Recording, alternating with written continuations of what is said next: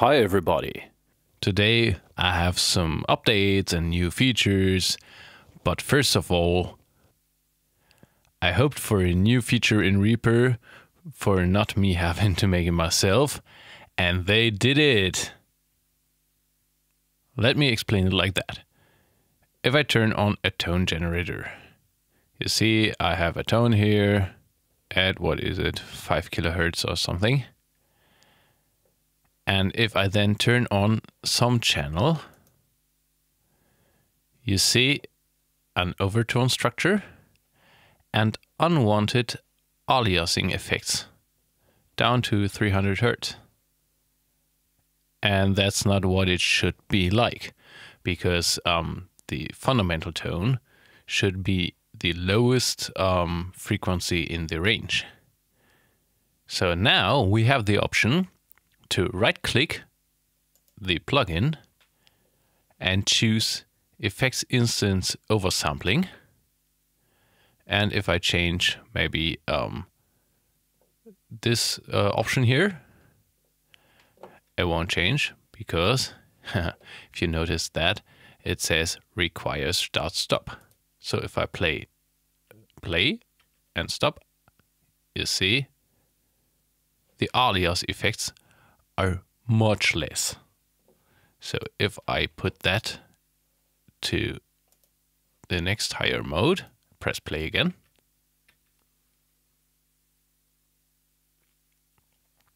The alias effects are all gone.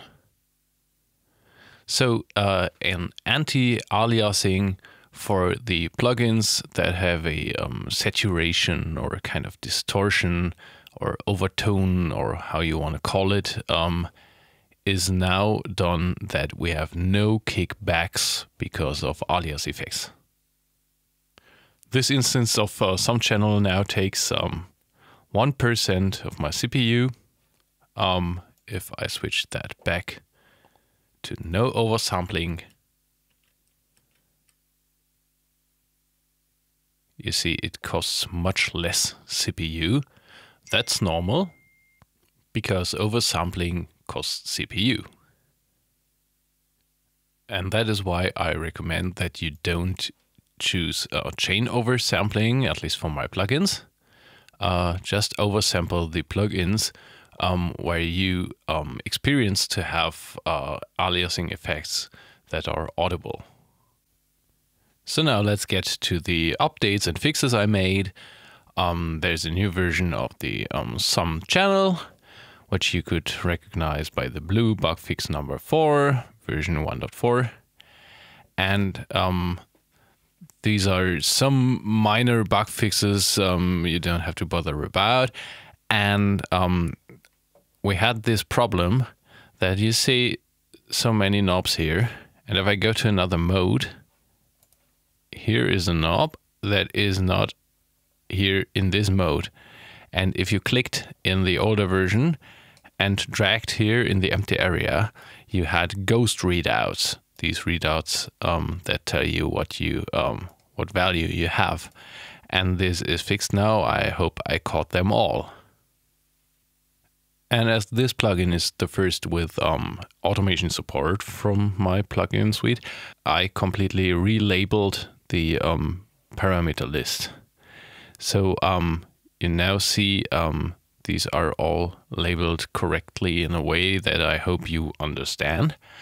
And um, if the parameters are not uh, meant to be automated, I always told don't. If you're confused what it means that it's um, unused question mark, that is because my programming is quite chaotic. So there might be some parameters that had a function once, and then uh, I replaced them with um, some other uh, program code, and um, I'm not so sure if they are unused. Um, I'll check that, remove them later if necessary. So let's get over to the um, reverb units there are some news. Uh, the lexicon uh, one, if you uh, would say so, that's just lexicon, um, has a mode for white text.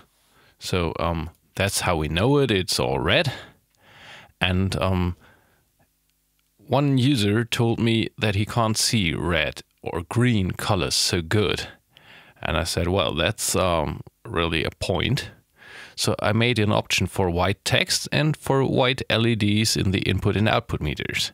And you can activate that simply by um, Alt clicking this lower um, display panel.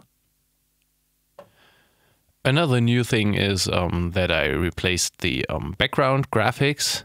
Um, you probably won't notice that. It's a detail. Um, what annoyed me was um, that this um, thing, this display uh, at the top of the plugin, is actually at an angle to the rest of the plugin. And now I made it a bit bigger, the display, and put that into an angle. So um, it uh, is a bit uh, not so wide at the bottom as at the top. So let's get over to um, the other lexicon plugin. Um, there's a new feature because there was always a chorus effect on the reverb tail. So it sounded like this.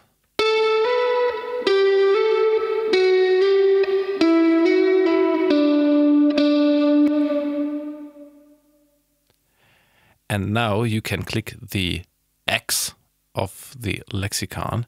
And as you see, it gets a bit lighter here, the blue area. And that switches off the chorus effect.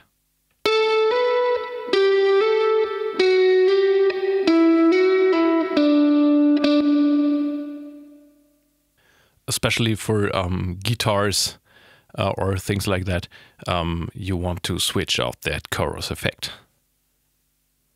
I know that um, these new features, especially these hidden features, um, are hard to memorize. So I will, um, in future, not yet, but in future, I will do that. Um, if you, I think, uh, if you hover the um, logo, an info box will appear what you can do with a plugin and where the hidden features are.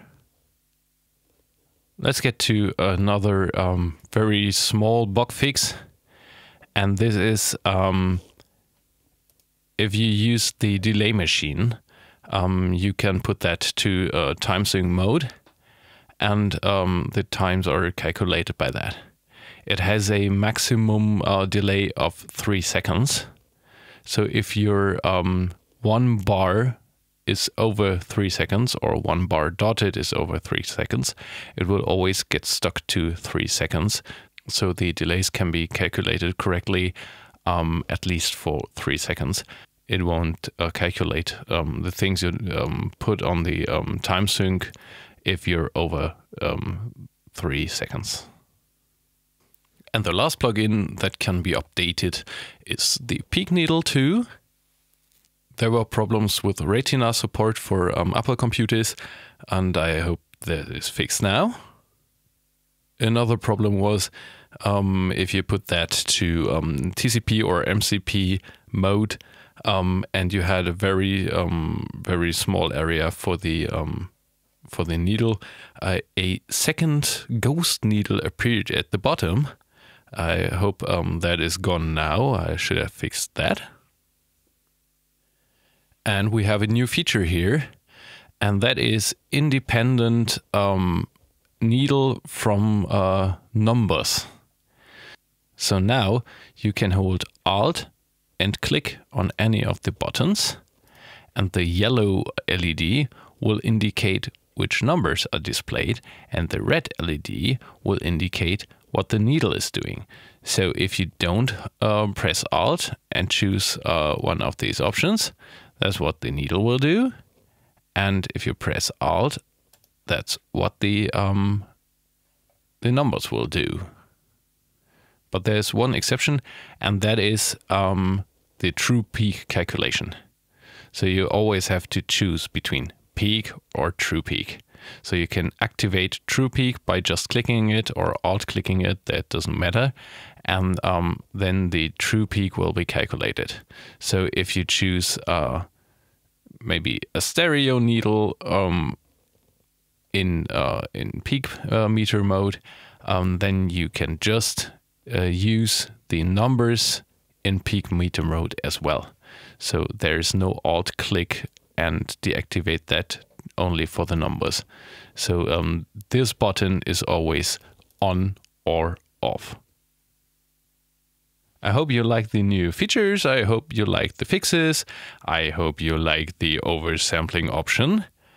And as always, have fun with the plugins and bye bye.